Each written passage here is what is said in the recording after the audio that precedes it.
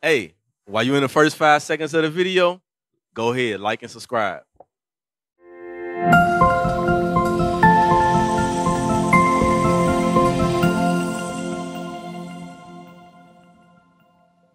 The teachers are not going to be hidden in corners. We're going to be out in the streets teaching. So this is the positive uh, vibe that we need to see. You know what I'm saying? Because the Christian church, they're hiding in the church. They're behind the pulpit, talking about, ha, give me your money, ha. Would a man rob God, ha? But they're not out here trying to show the black man and the black woman, look, this is what God said. Stop killing. Marry before you have sex. Stop having children from woman to woman. Be a man. Keep God's laws. A man should have a beard on his face. This is the Sabbath day. There's no buying and selling. There's no cooking. These are the things that you're supposed to be telling.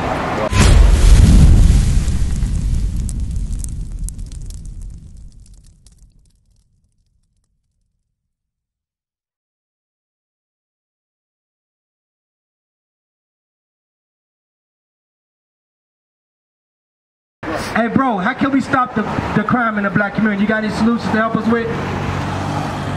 Yeah, how can we stop the violence in the black community? Just give me one solution, bro, so we could go back and share with the young black men that need it. You don't have none? No? Okay. All right. Huh? I'm sorry, I hear you. Okay, and you, you got kids? You don't have no nephews, nieces, or anything like that? No? And you know some young black man down the street, man. A lot of them got guns. So what are you gonna tell them to, to put the gun down so they won't shoot you? You gonna shoot back? Yeah? So that's the solution. You see what I'm saying?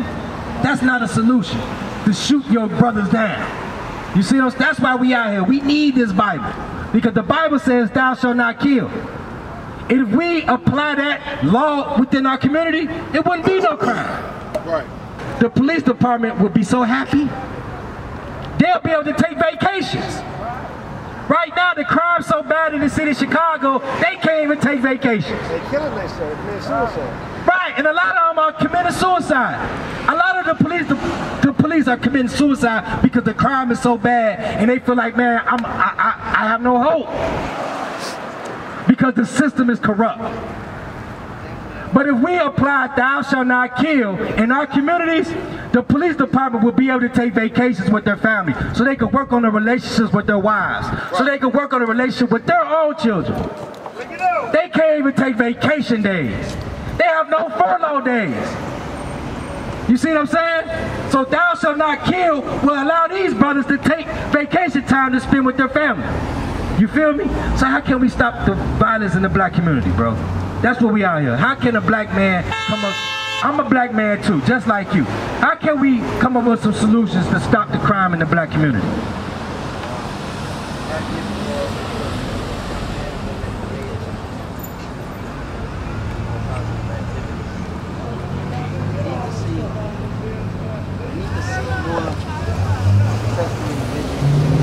that come from their communities, doing things positive and being successful in their lives. They need they need more examples.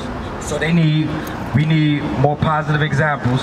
We need to be able to see, um, come together and have more good activities for us to be in, more programs. Is that what you said?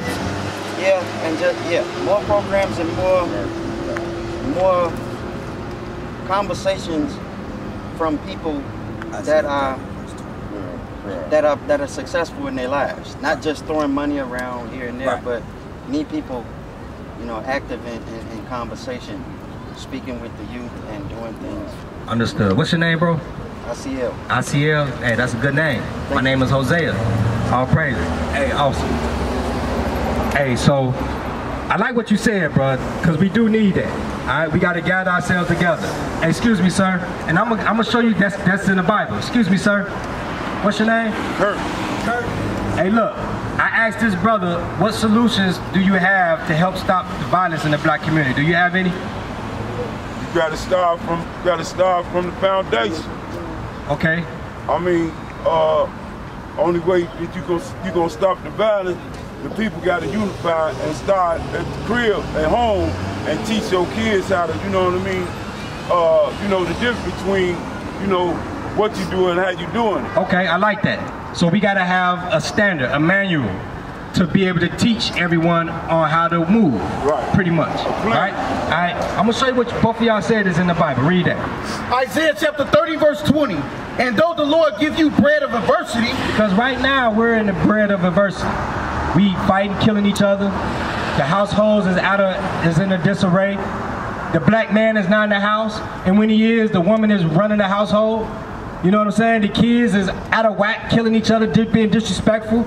You know what I'm saying? So this is the bread of adversity that we're in. Read on. and the water of affliction. And we're in a water of affliction. Why are we being afflicted? Because we killing each other.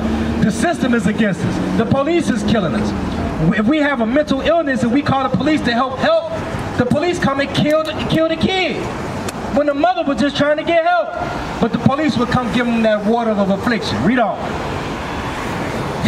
Shall not thy teachers be removed into a corner anymore. So the teachers are not going to be hidden in corners. We're going to be out in the streets teaching. So this is the positive uh, vibe that we need to see. You know what I'm saying? Because the Christian church, they're hiding the church. They're behind the pulpit, talking about, ha, give me your money, ha. Would a man rob God, ha. But they're not out here trying to show the black man and the black woman, look, this is what God said. Stop killing. Marry before you have sex. Stop having children from woman to woman. Be a man. Keep God's laws. A man should have a beard on his face. This is the Sabbath day. There's no buying and selling. There's no cooking. These are the things that you're supposed to be telling. You feel me? Uh, is there any more on that? Yes. Read on. But thine eyes shall see thy teachers. But thine eyes shall see thy teacher. You got Zephaniah? Give, give me that. Zephaniah chapter 2, verse 1. So this is what you was going into. Both of y'all pretty much said this. Because we have to gather ourselves together. Read on. Gather yourselves together, yea, gather together, O nation not desired. Because we're not desired.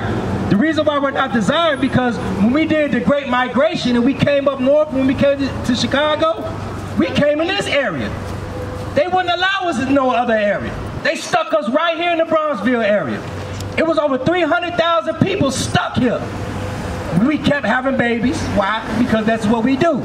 We keep having babies. We don't die, we multiply. What? So once they stuck us here, they wouldn't allow us to go anywhere else. Why? Because we're a nation that's not desired. So we do have to gather ourselves together. But how do we gather ourselves together under what? Hold on, bro. Hold on, hold on, man. Because you what's gonna help bring solutions to this madness that we're in. Yeah. Why, why lead this? Where's, where, what better place you have to be? I got you, bro. Hey, Asael. So check this out. Read that again. Gather yourselves together, yea, gather together, O nation not desired. So gather yourself, O nation that's not desired, right? So we got to gather ourselves under the banner of God. Give me Ecclesiastes 12, uh, where it says the whole conclusion of man. 13. So, yes. So when we come together, Asael, we got to come under the. What, what, what, do you practice? What religion you in? Christianity. Okay. You know what today is? Yeah. No, today, like today. Saturday, right? What day of worship do Christians uh, typically worship? Sunday. Where is that at in the Bible? It's not. Not in the Bible. You know what the Sabbath day is? Saturday, right? Do you know how to observe and keep the Sabbath day holy? Fasting. I'm gonna show you what the Bible says, and then I want you to know.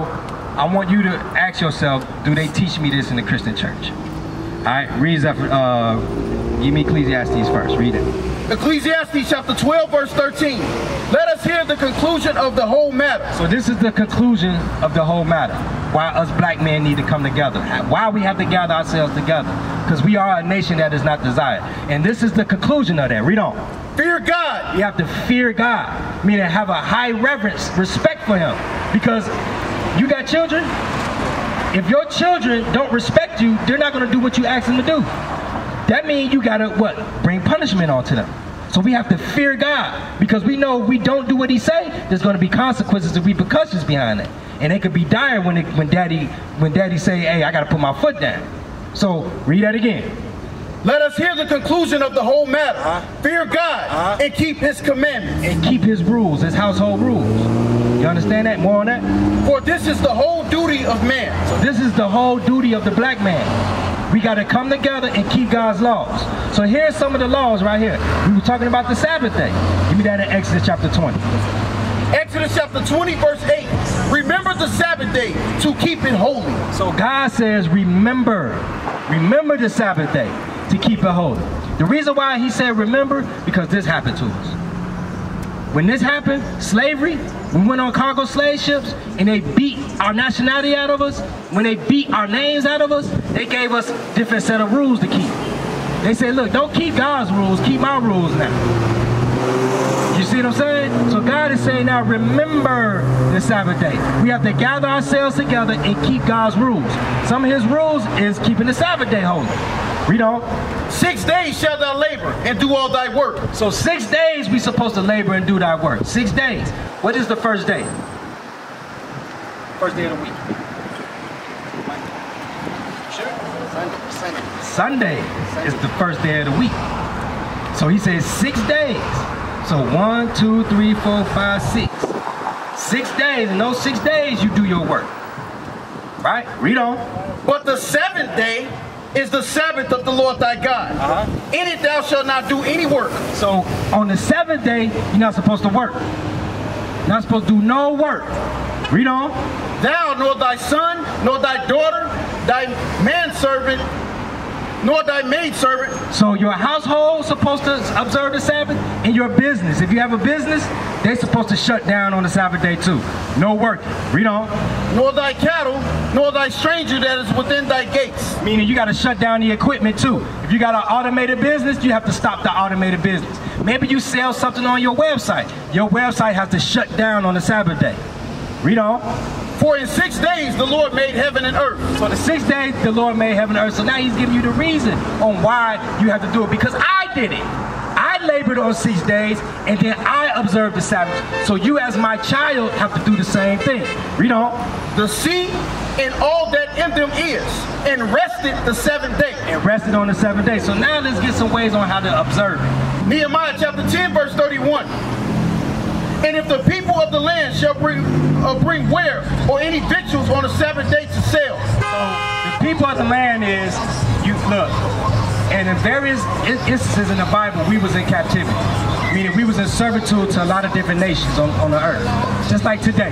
We in Bronzeville neighborhood. We got Arabs, we got Asians in our neighborhood that's selling things. So God is saying, look, if the people, if the other people of the land bring you things to sell you, you know, that we will not buy it of them on the Sabbath. we will not buy it of them on the Sabbath. So you can't buy and sell. There's no working and there's no buying and selling. Read on. or on the holy day, and that we would leave the seventh year and the exaction of every debt. So we can't buy. So now what, what else we can't do? No cooking, right? Let's get that. So we can't buy and sell and we can't work. So these are some ways to keep the Sabbath day holy. Did they teach you that in the Christian church? No, because they go what? They go worship God on the first day of the week.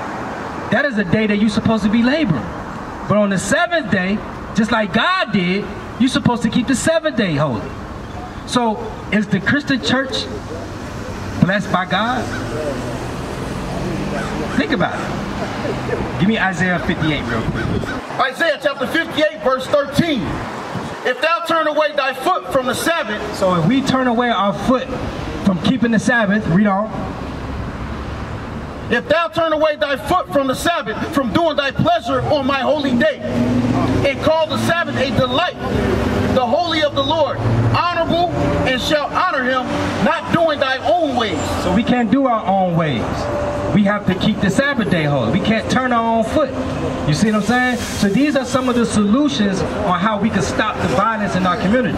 Because when we what not keeping the Sabbath day holy, bad things happen to us.